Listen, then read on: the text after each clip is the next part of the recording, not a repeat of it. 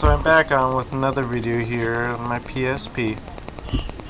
I tried something out last night. I decided to add two new files, the Ultimate VH VSH menu and the Alternative VSH menu by Red Squirrel. Now there's the Ultimate. I, ha I still have the normal M33 VSH menu. So just exit. And then the home button gives me the alternative.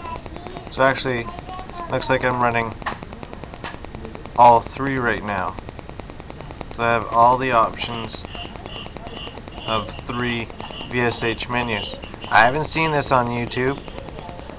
Nah, I don't know if it's going to do anything to my PSP, so I'm not going to touch anything right now. I don't have any extra batteries to try and Pandorize with the Ultimate VSH, but uh, you know, maybe someone else will try something and uh, we'll see what happens.